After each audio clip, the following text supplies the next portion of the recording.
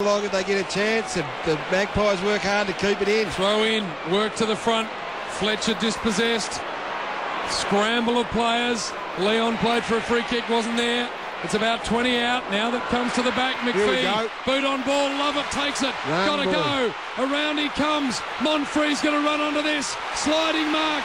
Get up, release the footy. Oh. Dyson inside Where's 50. Jenner? Jenner. Oh. oh Jenner's going to run on and kick a sausage. Picks it up. Oh no. Harry O Oh, sensational.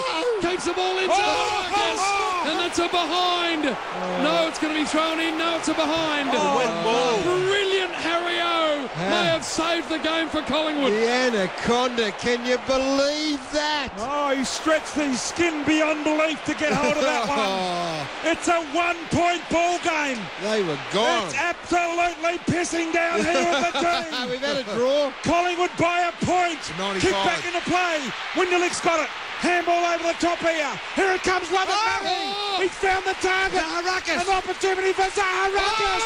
He goes for Zaharakis. Zaharakis has kicked it. Zaharakis has kicked the goal.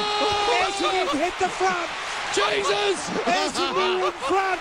Can you believe it? I can't believe it, What Brian. is going on? Zaharakis has put the Bombers in front.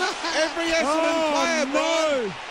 Unbelievable stuff. and all the Essendon players are running behind the ball. There's only Wow. one Essendon player. They're running behind the ball. Lloyd can barely run to get back Great there. work, though. They kept the ball moving. The composure of Lovett Murray not to blaze away. And then a young man who grew up, I think he might have just grown up Barracan for Essendon, did he not? The Bombers by five points. Oh, siren.